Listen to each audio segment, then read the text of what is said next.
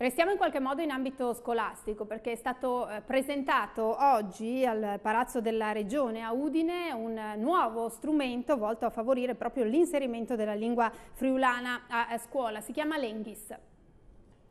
Presentato dunque un nuovo sito che permetterà al meglio di apprendere la lingua friulana, ma non solo.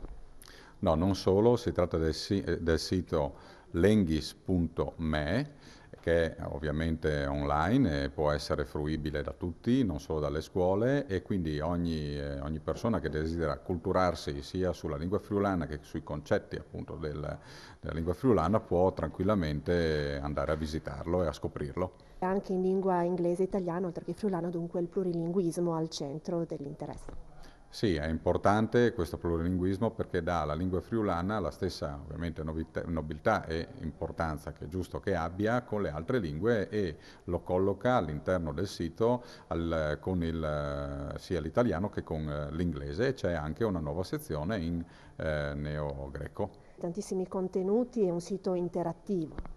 Sì, è un sito interattivo, ci sarà anche la possibilità per gli insegnanti eventualmente di contribuire con delle, delle schede specifiche che possono proporre e poi verranno validate.